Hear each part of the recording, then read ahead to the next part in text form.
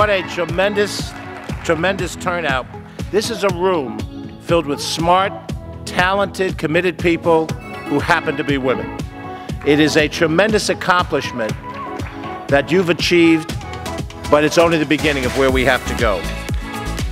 And hearken the voices of those brave and audacious women who are so far ahead of their time, but they never gave up. They never gave up. We are part of that DNA. That's who we are as New York State women. That is what we should be talking about today and pushing forward until we can finally say at the end of our days, we made a difference. And now, more than at almost any other time in recent history, it is so important that we, as women, that we are engaged and we're fighting back against the forces that seek to tear us down. We need to stand in the gap and we need to represent and let all little girls know that they can be anything that they want to be. My father's last words to me, which I have tattooed right on my arms here, it says, let no one steal your dreams. And uh, I think that's very, very important. And all the other things are very secondary.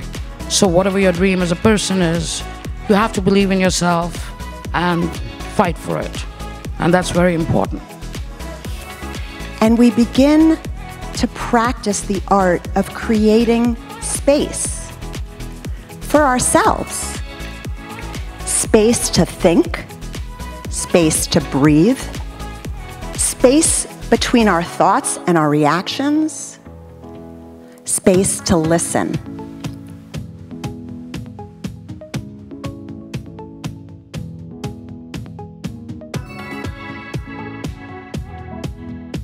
When we did issues around women's issues, I think that the, the conversations that I used to have with my grandmother continued to stay with me because she said that women need women as friends. And they need friends, but they need women as friends because, like it or not, the women are going to tell you the truth, but be there to hold you when the truth gets to be too much.